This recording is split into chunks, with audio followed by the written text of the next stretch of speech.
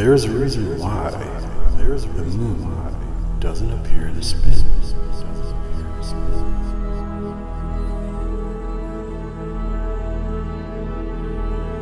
There's a reason why some say the moon is hollow. Some say is hollow. Do you know the way? Do you know the way of light? Where is the place of darkness? Where is the place of darkness?